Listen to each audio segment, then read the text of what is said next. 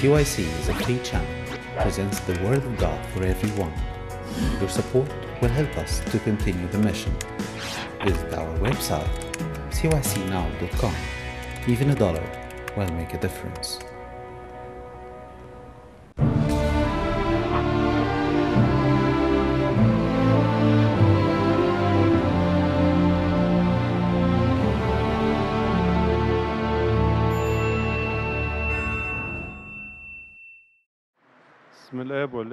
والروح القدس الإله الواحد آمين. تحل علينا نعمته وبركته من الآن وإلى الأبد آمين. أقرأ بنعمة المسيح جزء من رسالة معلمنا بولس الرسول إلى أهل أفسس في الإصحاح الثاني. الاصحاح الثاني عدد عشرة. الذي نزل هو الذي صعد أيضا فوق جميع السماوات لكي يملأ الكل. وهو أعطى البعض أن يكونوا رسلا والبعض انبياء والبعض مبشرين والبعض رعاة ومعلمين. لأجل تكميل القديسين لعمل الخدمة لبنيان جسد المسيح جسد المسيح اللي هو الكنيسة. إلى أن ننتهي جميعنا إلى وحدانية الإيمان ومعرفة ابن الله إلى إنسان كامل إلى قياس قامة ملء المسيح. لكي لا نكون فيما بعد اطفالا مضطربين ومحمولين بكل ريح تعليم بحيلة الناس بمكر إلى مك... إلى مكيدة الضلال. بل صادقين في المحبة. ننمو في كل شيء إلى ذاك الذي هو الرأس المسيح الذي منه كل الجسد مركبا معا ومقترنا بمؤازرة كل مفصل حسب عمل على قياس كل جزء يحصل نمو الجسد لبنيانه في المحبة نعمة الله الآب تكون مع جميعنا آمين. نشكر الله الذي أعطانا أن نأتي إلى هذه الساعة المقدسة. نشكره على كل العمل الذي يعمله معنا وفي كنيستنا المقدسة. وأنتهز هذه الفرصة لكيما أشكر إخوتي الأحباء الآباء المطارنة والأساقفة والآباء الكهنة والشمامسة والخدام والخادمات في الكنيسة في كل كنيسة لأعمالهم ولتعبهم ولخدمتهم المثمرة وأتعابهم الكثيرة. ودايما نبقى عارفين كده إن التعب اللي مش باين هو أضعاف أضعاف أضعاف التعب اللي باين مع كل خدام الكنيسة بصورة عامة. ونشكر الله أن يعطينا وأن يفرح قلوبنا بأعمال كثيرة وبأنشطة كثيرة ولكن كل هذه الأعمال وكل هذا لا يتم إلا كما قلت في الخارج قبل الدخول للاجتماع. لا يتم إلا بنعمة الله ويمينه القوية وذراعه الرفيعة. ولا يتم أيضا إلا بالمحبة المتبادلة بين الجميع كل في رتبته أو في مكانه. وأيضا لا يتم إلا بالمجهود الشخصي الذي يبذله كل إنسان بلا كسل أو بلا تهاون. معانا النهارده مجموعة من الضيوف من النمسا وكوريا وكوينزلاند بأستراليا وتلاهاسي بفلوريدا ومن تورونتو في كندا أهلا بيهم. بنشكر الكشافة واحتفالهم الرقيق والجميل. نشكر نيافة أنبا موسى ونيافة أنبا رفائيل في اسقفيه الشباب على ترتيب هذا الاحتفال من خلال فرق الكشافة اللي موجودة في عدد كبير من كنايسنا وإبرشياتنا. كلمتكم في الأسابيع الماضية عن مهابة الكنيسة وكرامتها. أريد أن أتحدث في هذا اليوم عن الارتباط بالكنيسة. ما معنى الارتباط بالكنيسة؟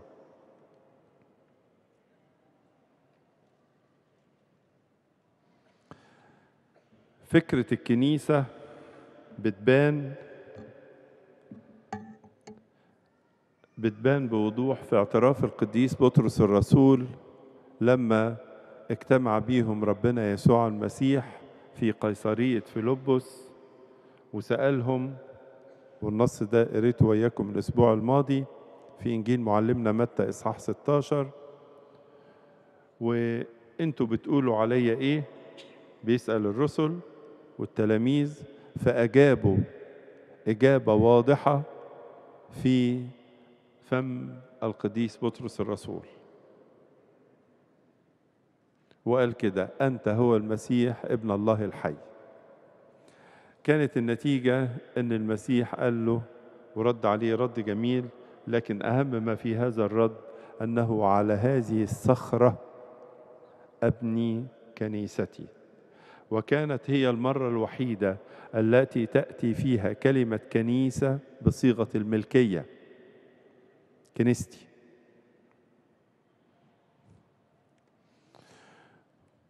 وظهرت الكنيسة بمفهوم جديد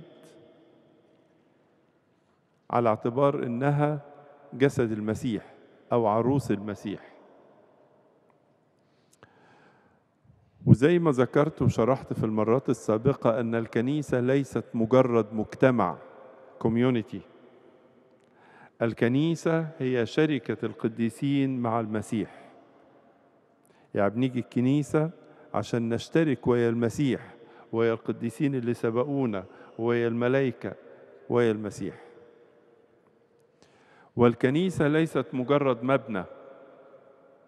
نسمع في القرون الأولى في أوقات الاضطهاد وأوقات الاستشهاد وقبل أن تبنى كنائس كانوا يصلون في المقابر والمغاير وشقوق الأرض وكانوا يصلون في المزارع. المزرعة يعني غيط في أرض خضراء بيزرعوا فيها حاجة يقفوا يصلوا ويعملوا قداس. فالكنيسة ليست مجرد مبنى الكنيسة هي أعضاء جسد المسيح. إحنا كلنا بنمثل الكنيسة. والكنيسة أيضا ليست مجرد مؤسسة عادية أرضية. الكنيسة تعني الحياة في المسيح. هي دي مفهوم كنيسة.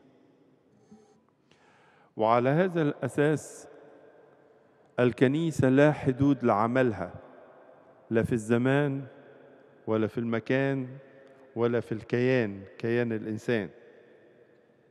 يعني الكنيسة مش محصورة بالجدران بتاعتها. ده دور الكنيسة أبعد من كده. ولا محصورة بالزمن اللي هي فيه النهاردة. ده فعلها يمتد ويمتد. ده ممكن الطفل الصغير اللي في مدارس الأحد اللي يمكن بيتشاقى شوية. ممكن جدا هذا الطفل يصير ذو تأثير في المجتمع ليس على مستوى المدينة ولا مستوى بلد ولا محافظة يمكن مستوى أكبر. أنا فاكر مرة دولة ما بنلاش فيها كنيسة ما كانش لنا فيها كنيسة قبطية فلما رحت فيها ده زمان من 10 12 سنة ففوجئت إن الأطفال بتوع الأسر القبطيه حافظين ترانيم وألحان وحلوين قوي فسألت ده أنتوا ما عندكمش كاهن وما عندكمش مبنى؟ وانتوا أسر متفرقة. قالوا البركة في الأخت فلانة. الأخت فلانة دي بنت عمرها 21 سنة واخدة دبلوم تجارة من إحدى قرى الصعيد قرية فيها كنيسة. تعلمت وكانت تقول لي إحنا بيتنا جنب الكنيسة. فأنا طول النهار في الكنيسة. فلما ربنا شاء إنها تتزوج وتروح بلد ما فيهاش كنيسة صارت هي الكنيسة. وصارت هي الخادمة وصارت هي المعلمة وهكذا. فالكنيسة ليست مجرد مؤسسة ولا حدود لعملها. الكنيسة تمتد في المكان وفي الزمان وفي كيان الإنسان. عشان كده بنقول على الكنيسة الكنيسة وحدة وحدة تتميز بالوحدة بالاتحاد. بنسميه الشركة في الكنيسة. والكنيسة أيضا واحدة وحدة واحدة. واحدة يعني غير منقسمة. كنيسة المسيح كنيسة واحدة. والمسيح يوحدها. والكنيسة أيضا وحيدة. وحيدة يعني ما فيش زيها. يمكن أن نجد كل شيء خارج الكنيسة. كل حاجة ممكن تلاقيها بره. ولكن الكنيسة تقدم الخلاص الخلاص بدم المسيح وصليبه. عشان كده بنقول هي عروس ما فيش زيها. فالكنيسة نقول عنها وحدة واحدة وحيدة. زي ما بنعبر كده في قانون الإيمان ونقول نؤمن بكنيسة واحدة مقدسة جامعة رسولية. الذي يعمل في الكنيسة هو روح الله القدوس. روح الله القدوس المسيح حجر الزاوية. والكنيسة زي ما شرحت في التعريف اللي قلتها هي التي تمدنا بنعم الأسرار. بعمل الروح القدس. سر المعمودية يعمل فيه روح الله سر الكهنوت سر الزيجة كل الأسرار الكنسية السبعة. وعشان كده لما بنيجي نصلي قداس كلنا ويا بعض يقف الأب الكاهن أو الأب الأسقف ويقول عبيدك يا رب خدام هذا اليوم. أرجوكم تاخدوا بالكم من كلمة خدام. ما بيقولش خدام مدارس الأحد يعني ولا خدام اجتماعات الشباب ولا اجتماع السيدات. عبيدك يا رب خدام هذا اليوم. كل من يوجد في الكنيسة في هذا الوقت الكل بدءا من أبونا الأسقف الأب الكاهن سواء واحد أو أكثر الشمامسة الخدام الشعب. عبيدك يا رب خدام هذا اليوم ويبتدي يفسرهم بحسب وضعيتهم وفي الآخر وضعفي كل دول خدام هذا اليوم. ولذلك من التقاليد المستقرة في كنيستنا إن ما يقدرش كاهن ولا أسقف يعمل قداس لوحده. مش ممكن. على الأقل ثلاثة من يمثل الخدام الشمامسة؟ من يمثل الشعب؟ والأسقف أو الكاهن اللي بيصلي القداس. لازم هذه الشركة فالمسيح هو جسد رأس الكنيسة والكنيسة جسد المسيح. واللي يحب يقرأ على على المفهومين دول بعمق يقرأ رسالتين ورا بعض كده رسالة أفسس ورسالة كلوسي الاتنين كتبهم بولس الرسول. والاتنين بيشرحوا المفهومين دول بوضوح شديد. أفسس تقول لنا المسيح الكنيسة جسد المسيح. ويشرح بتفاصيل جميلة. وفي كلوسي يشرح المسيح رأس الكنيسة. ودي مفاهيم الكنيسة. طب يعني إيه ارتباط بالكنيسة؟ يعني واحد مرتبط بالكنيسة.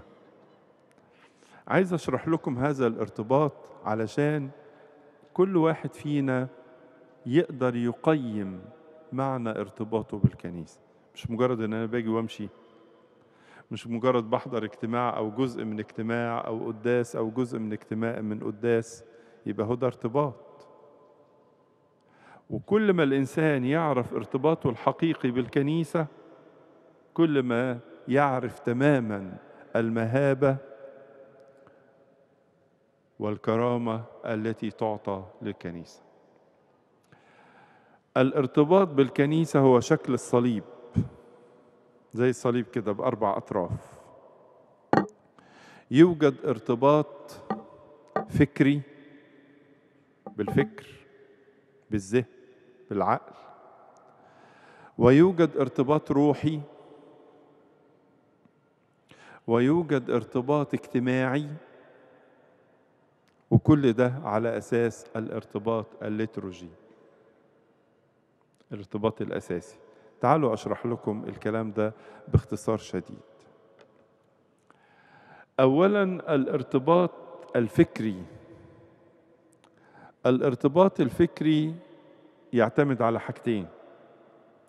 يعتمد اولا على الكتاب المقدس العهد القديم والجديد ويعتمد أيضا على تعاليم الآباء. طبعا دي عناوين عريضة فيها تفاصيل كتيره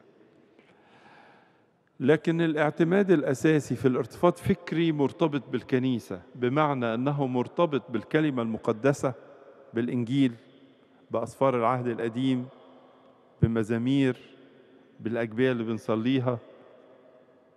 ومرتبط بتعاليم الآباء اللي بيقدمها لي المعلم المعلم الأب الأسقف أو الأب الكاهن اللي بيقف يعلمني بحسب تعاليم الآباء بحسب ما تسلمت الكنيسة.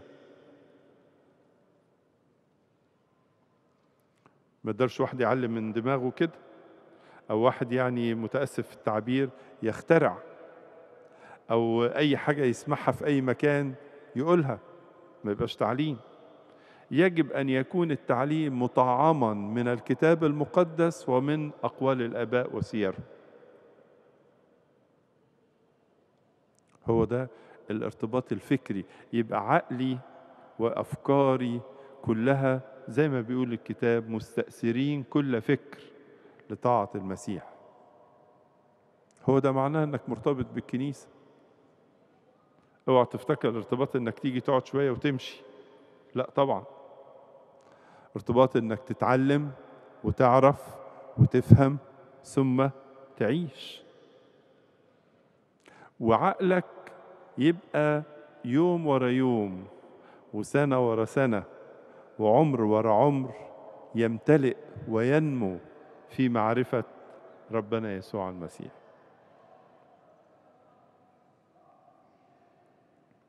ده الارتباط الفكري.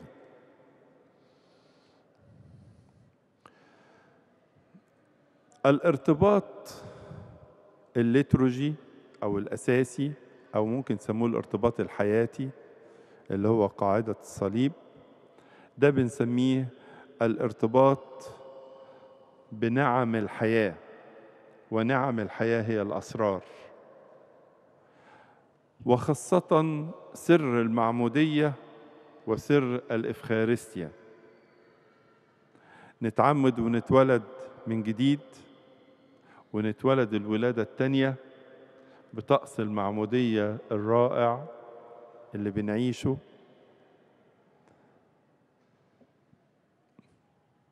وده اللي بنبتدي بيه حياتنا في الكنيسة. وزي ما في مرة سابقة ذكرت أمامكم إن يوم المعمودية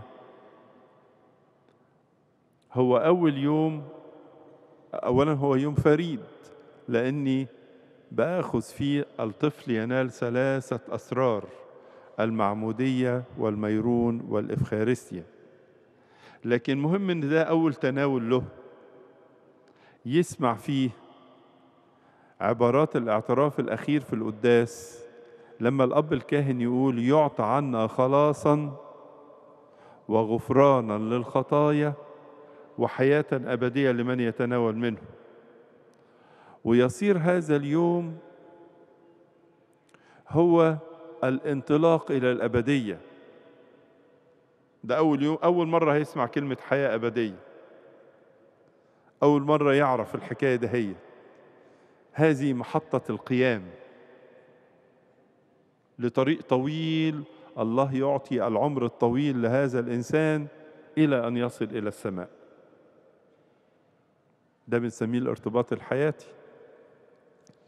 ولذلك عندما يعطي الأب الكاهن لابنه في الاعتراف تدريب أو يحرمه من التناول آه، فترة قليلة ليست عقوبة بقدر ما هي علاج. علاج لضعف. زي بالظبط واحد آه، عنده سمنة وبستي يقوم الطبيب يقول له لازم تنزل كل أسبوع مثلا 2 كيلو. هو مش بيعاقبه هو بيعالجه. يقول في حمل شديد على قلبك يبقى لازم الوزن ينزل. فلازم ما تاكلش كذا وكذا وكذا وكذا. هو مش بيحرمه هو بيعالجه. المعمودية. ثم يأتي إذا كانت المعمودية هي ميلاد الحياة الجديدة فتأتي الإفخارستيا هي غذاء الحياة الجديدة الغذاء. ويبدأ الإنسان بقى من يأكل جسدي ويشرب دمي يثبت في وأنا فيه. وتمتد حياة الإنسان ويبقى مرتبط بالكنيسة مرتبط بالغذاء مرتبط بالجسد والدم. الأقدسين وهو يتقدم للتناول فيهم في القداس لشخصه. وبعد ما يتناول كده تقابله وتقول له أنستك النعمة. وهكذا. هذا هو الارتباط الحياتي أو الليتروجي بالكنيسة. الصورة دي الشكل الثاني أو الضلع الثاني من الارتباط بالكنيسة. الضلع الثالث بقى الارتباط الروحي. الارتباط الروحي بيعتمد أيضا على شيئين. يعتمد على التلمذة لأب الاعتراف ويعتمد على الصلاة وروح التوبة. يعني إيه الكلام ده؟ انت مرتبط بالكنيسة؟ تقول لي آه مرتبط. ليك ارتباط روحي بالكنيسة؟ أيوه ليه ارتباط روحي.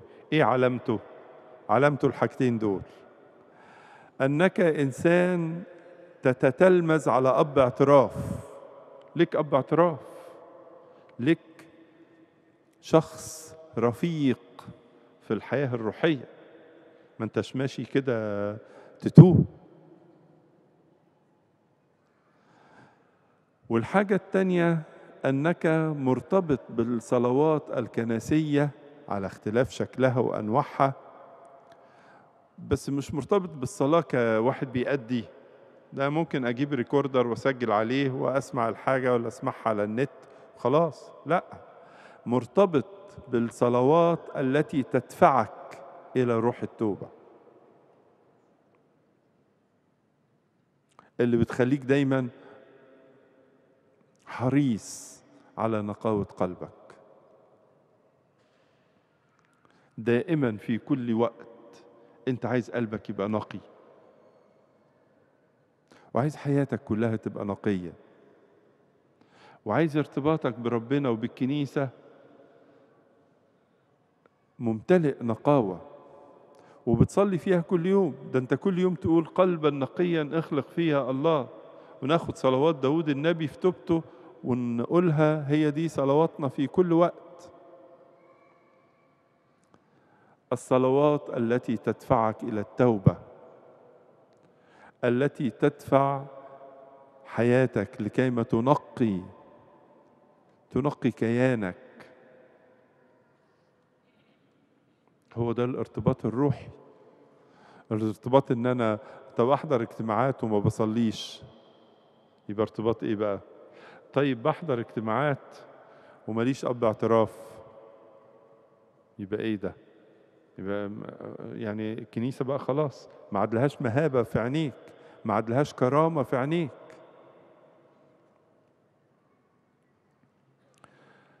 تلمذتك لأب اعترافك التلمذة الروحية وليست التلمذة الشخصية. التلمذة الروحية أن أب الاعتراف هو إنسان اختبر الحياة قبلي يمكن أن يرشدني وأن يرافق طريق حياتي الحياة الروحية. هو ده أب الاعتراف. وأب الاعتراف الحديث معه حديث روحي صرف. مش حكايات مش أخبار مش آه، نوع من الجدل. ولذلك في الاعتراف الأب الاعتراف يمسك الصليب في يده ويبقى هو بين المعترف وبين أب الاعتراف ويبقى هو ده الرابط أو ده آه، البريدج الجسري اللي بيربط ما بين الاتنين. وأب الاعتراف يسمع ما تقوله ويصلي.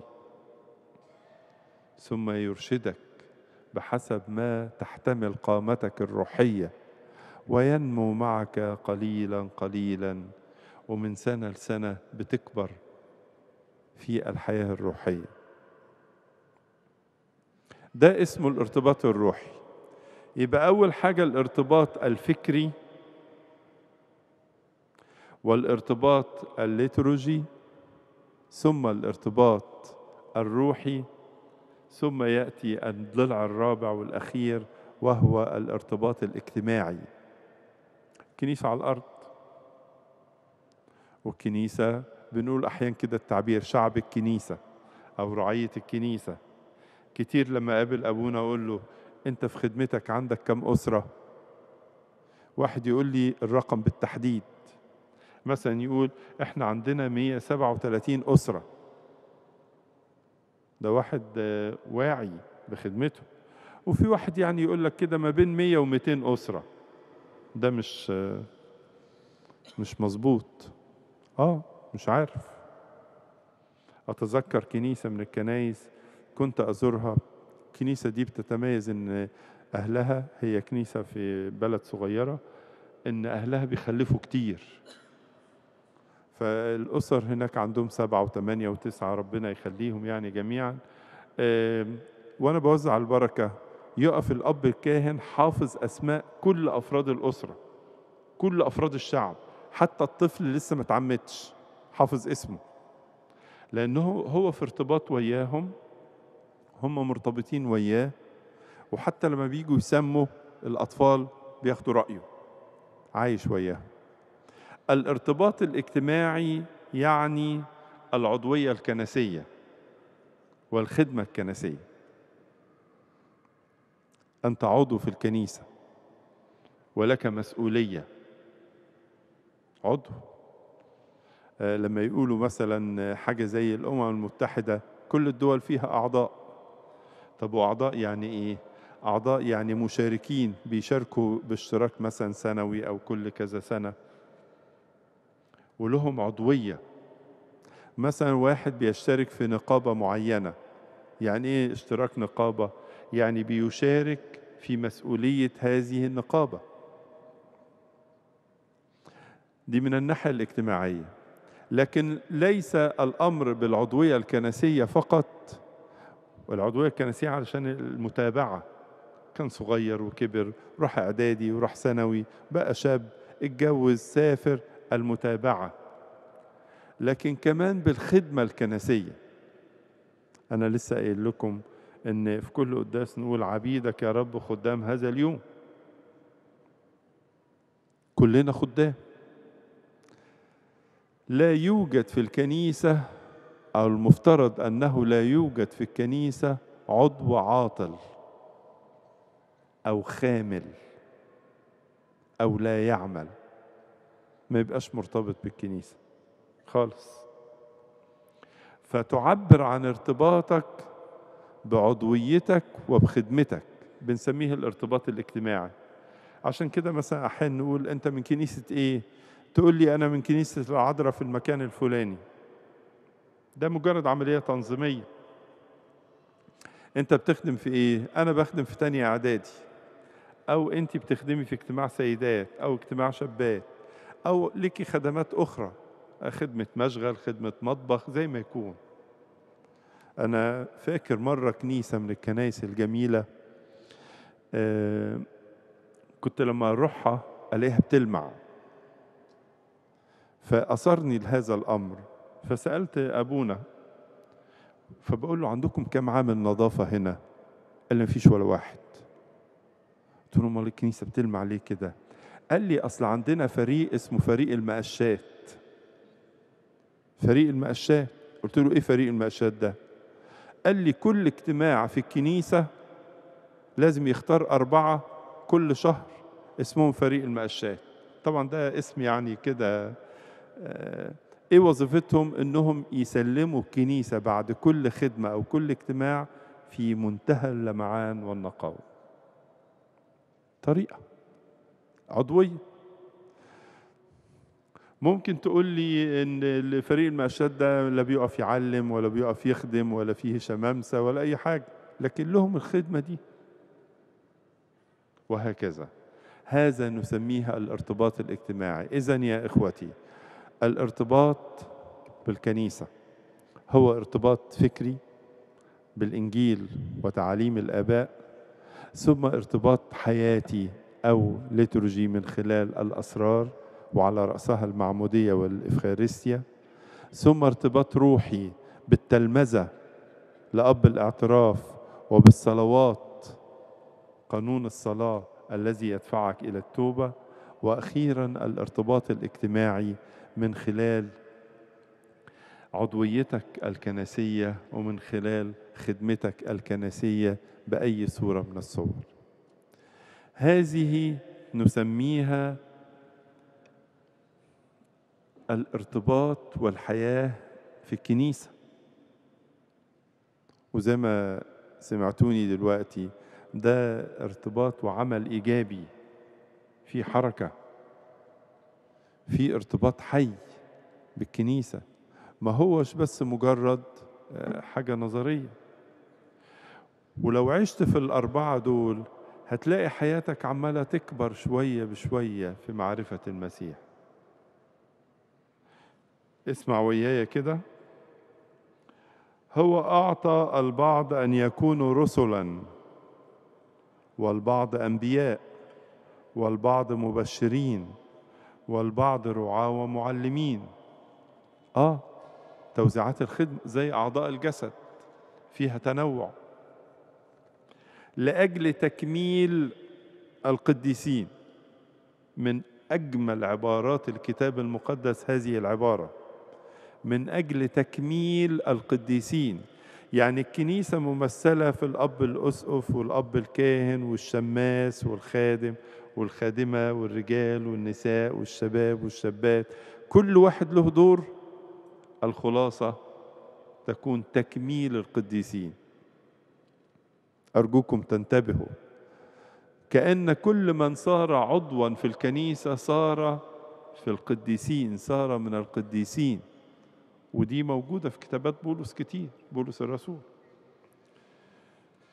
لعمل الخدمة لبنيان جسد المسيح. إلى أن ننتهي جميعنا إلى وحدانية الإيمان. ومعرفة ابن الله عمالين ننمو. إلى إنسان كامل. ودائما يقولون سقف المسيحية عالي. نعمل كنايسنا كده عالية. سقف المسيحية عالي. الكمال مشواره طويل. إلى قياس قامة ملء المسيح. هذا هو الارتباط بالكنيسة. ويبقى كده كلمتكم عن كرامة الكنيسة ومهابتها. والارتباط بيها وكل ما عشت في هذا الارتباط كل ما شعرت بهذه الكرامة وهذه المهابة. بالمناسبة دي عايز ألفت نظركم لحاجة مهمة خالص. إذا أراد ربنا وعشنا والله يعطي العمر للجميع سنحتفل سنة 2018 بثلاث مناسبات مهمة. أول مناسبة مرور خمسين سنة على افتتاح هذه الكاتدرائية والمناسبة الثانية مرور خمسين سنة على ظهور أمنا العذراء في الزيتون. والمناسبة الثالثة مرور مئة عام على إنشاء مدارس الأحد. من أيام القديس الأرشدياكون حبيب كركس ولأن المناسبات دي بنعمة المسيح مناسبات غاية في الأهمية فلازم نديلها وقت في التحضير. فقدامنا زمن الله يعطي الجميع العمر ونستعد. لكن أول حاجة هنبتدي بيها جوه الكنيسة هنا. فإحنا بنعمة المسيح هنعلن خلال أيام على مسابقة ما بين كل الفنانين الأقباط لرسم أيقونات هذه الكنيسة كلها. الشرقية شرقية الكنيسة طبعا شرقية الكنيسة حاجة كبيرة قوي حوالي 600 متر مربع. الهيكل أو الهياكل ثم صحن الكنيسة. هنعلن عن المسابقة دهيت ونعلن عن تفاصيلها في مجلة الكرازة وهنعلن آه الإيميل اللي ممكن تطلب التفاصيل عليه. أرجو أنكم تصلوا من أجل هذا الأمر لأن الأمر ده كبير وهيتكلف كتير جدا. وابتدينا زي ما أنتم شايفين كده في السقالات المعمولة دهيت عشان نبتدي ضغطات التكييف اللي موجود في الكنيسة تبتدي تتغطى بالعينة اللي إحنا شايفينها قدامنا دهيت. صلوا من أجل هذا العمل وصلوا من أجل أن الكنيسة تتزين بأيقونات قبطية بالطبع بجوار الأيقونات اللي فيها ويتم الهيكل لأن هيكل الكازرائية هيكل ضخم يمكن لا يضارعه هيكل آخر في الكنيسة القبطية ويحتاج عمل كبير مش من فنان واحد هيحتاج عمل من فنانين كتير. أنا حبيت أقول دلوقتي علشان يبقى في فرصة للمعرفة. وبنعمة المسيح هننشر في عدد الكرازة مش اللي جاي اللي بعديه لأن اللي جاي خلاص هيطلع بكرة. هننشر تفاصيل هذه المسابقة لأيقنة الكنيسة في الهيكل وفي صحنها لإلهنا كل مجد وكرامة من الآن والأبد آمين.